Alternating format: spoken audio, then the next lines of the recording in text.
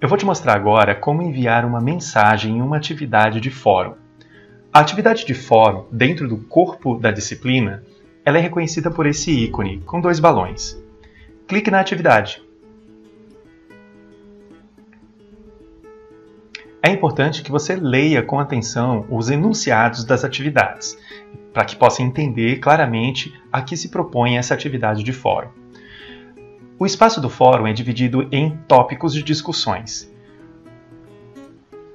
Se for preciso, você pode adicionar um novo tópico de discussão, clicando nesse botão.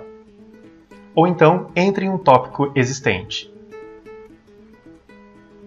Aqui aparecem as mensagens que já foram postadas em um fórum.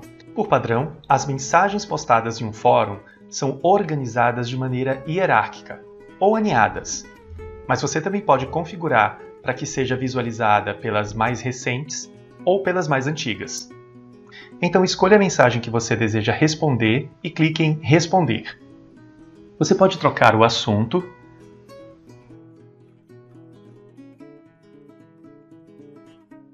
No campo Mensagem, escrever a mensagem que você deseja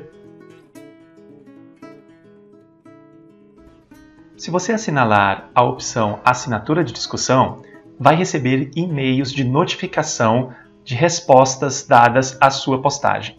Você também pode anexar arquivos à sua mensagem no fórum, mas fique atento ao tamanho máximo. A opção Enviar e-mail em seguida, ela permite que a mensagem seja postada imediatamente. Caso você não escolha essa opção, você tem 30 minutos para alterar sua mensagem antes que ela seja enviada.